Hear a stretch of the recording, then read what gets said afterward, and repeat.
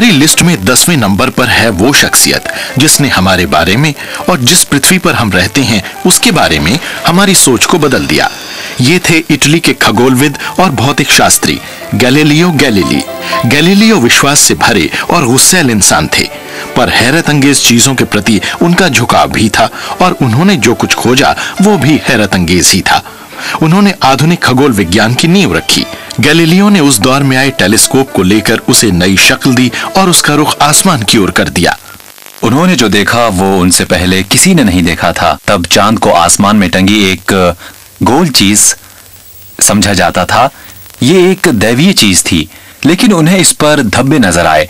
ये खोजें इतनी दमदार थीं कि शासन को लगा कि गैलीलियो का टेलीस्कोप एक किस्म का जादू है, जिसे उन्होंने चर्च की ताकत को कम करने के लिए बनाया है।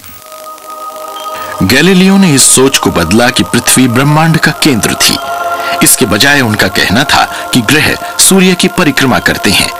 उस वक्त तो यह थ्योरी हैरान करने वाली ही थी, क्योंकि तब तो हर कोई सोचता था कि पृथ्वी इस गैलेक्सी के बीच में है। साथ ही ये सिद्धांत चर्च की शिक्षा का आधार था।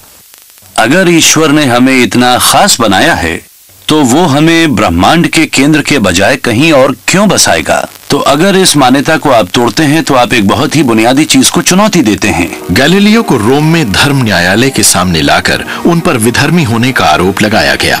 वे बूढ़े और बीमार थे मगर उन्होंने अपनी बात के पक्ष में दमदार बचाव पेश किया।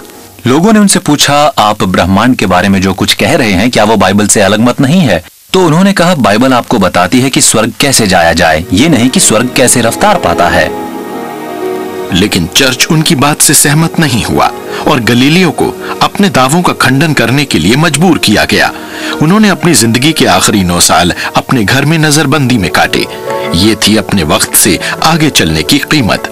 आज गलीलियो विचारों की आज़ादी के प्रतीक हैं, साथ ही सत्ता के खिलाफ संघर्ष का स्वर भी हैं। आखिरकार वे इस संघर्ष में जीत ही गए। वेटिकन ने ये बात मान ही ली कि उन्होंने इटली के खगोलविदों को गलत साबित किया था, लेकिन ऐसा उन्नीस सौ बानवे में ही हो पाया।